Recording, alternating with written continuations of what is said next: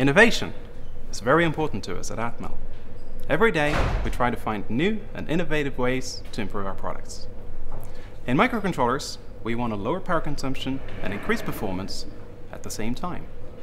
So the picopower concept uh, was born as a result of years of research on reduced power consumption and it has been a tremendous success with our 8-bit products. So now we have brought picopower to our 32-bit range as well. There is a connection between power consumption and performance. By reducing the complexity of on-chip circuitry, we can eliminate power-hungry transistors. That's a win-win. We lower power consumption and increase performance at the same time. Anything that you can shut off or slow down while maintaining system performance is a good thing. New sleep modes and innovative clock solutions is always welcome in any design. One of the ways we have improved the clock system is actually by taking away the need for an external high-speed crystal. The UC3L has an internal RC oscillator and a digital frequency locked loop. You can run the chip of the internal RC oscillator alone, but if you want better clock precision, all you need is an external 32 kHz crystal. Using this as a timing reference, you can run at 50 MHz with plus minus 0.25% accuracy, and a lower power penalty than if you choose a high-speed crystal. People are used to interrupts waking their CPU from sleep. Check some I.O., only to find out that everything is okay, and then go straight back to sleep again.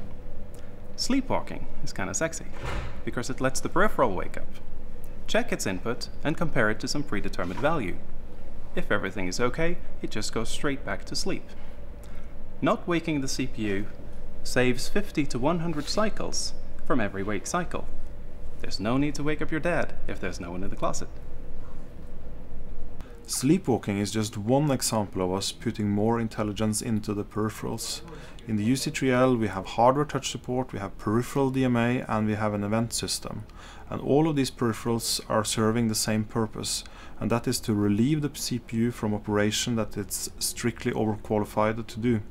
This keeps the processor available for the real work and it's also a major power saver. All in all, Power consumption for active mode is down to 0.48 milliwatts per megahertz for a real application.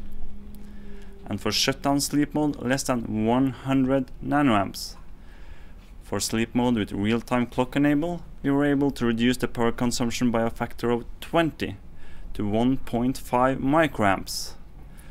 This is in line with the best 8 and 16-bit micros. Traditionally, 32-bit processors have been strong in performance but weak on power consumption. Now we can offer 32-bit performance with 8-bit power consumption, establishing the UC3 family even stronger as a natural extension to our 8-bit product families. The UC3L is the world's most efficient 32-bit microcontroller.